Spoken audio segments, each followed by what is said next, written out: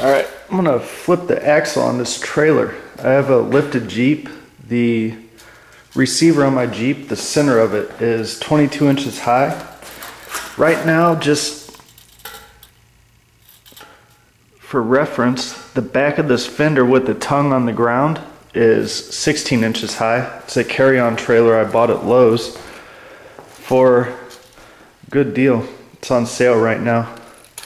So I'm gonna flip the axle and see how much higher I can make it because even with this seven inch drop, the trailer still just has a big downward angle towards the back because the receiver's too high for it. So I'm gonna flip the axle over and see how much higher it ends up making the uh, trailer.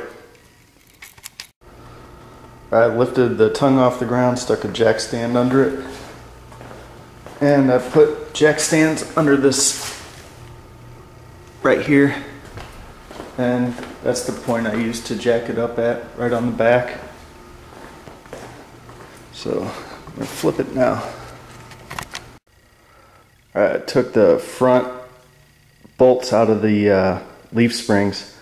They got this little ridged area right here.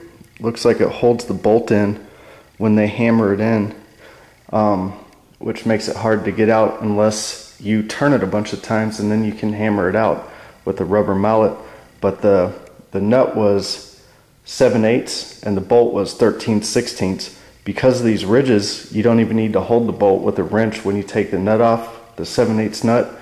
Then turn this a few times with the 13 sixteenths until it smooths out and you can hammer it out with the rubber mallet. And there's like the cheapest little dab of grease on there.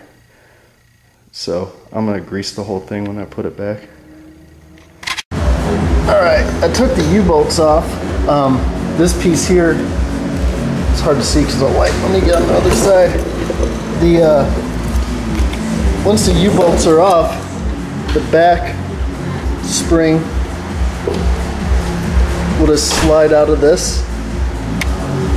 And then this nut, I already checked, will fit in the hole that's in this welded on tab. So when we just spin the axle around, this nut will go right in that hole. And I still got to do the other side. Also, I forgot to mention, I had the axle supported with my jack when I took the front leaf spring bolts out. After I was done, I lowered it down and then I'll stick my jack back under the axle to put it back in place once I get it flipped over to get the leaf spring bolts back in place. And I'm gonna use blue Loctite on everything they painted over the threads and it pretty much held everything in place. So my son's spinning on the chair. So yeah, I'm gonna Loctite everything when I put it back. All right, it's done. It took about an hour.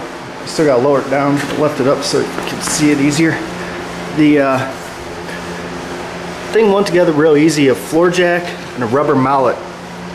That there, your best friend for little taps to get this line back up, put back together. Went together really easy though.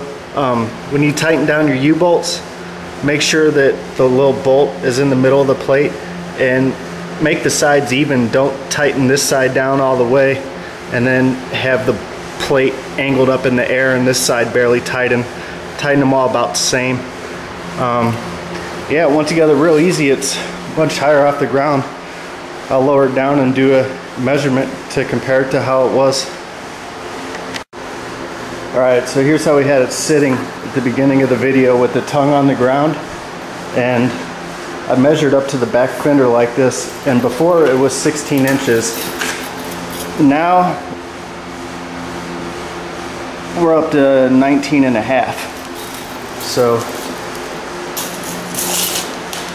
we gain two and a half inches three and a half inches. Yeah, three and a half inches. So yeah, that's much better. Next I'm gonna hook it up to my Jeep and see how level it looks. Also, after flipping the axle on the trailer, this is what it'll turn your ramp angle into. So it'll make your ramp a little steeper. So if you're trying to ride a Harley up it or something, you might fall over. So it gained some height. As you can see it's still a little higher in front but you can imagine how bad it was sloped before I raised it up. Um, really happy with the results. It's got a lot more ground clearance now. And I'd like to thank Jordan Ephrata of Pennsylvania your review on Lowe's gave me this idea. I never heard of flipping an axle before. So thanks man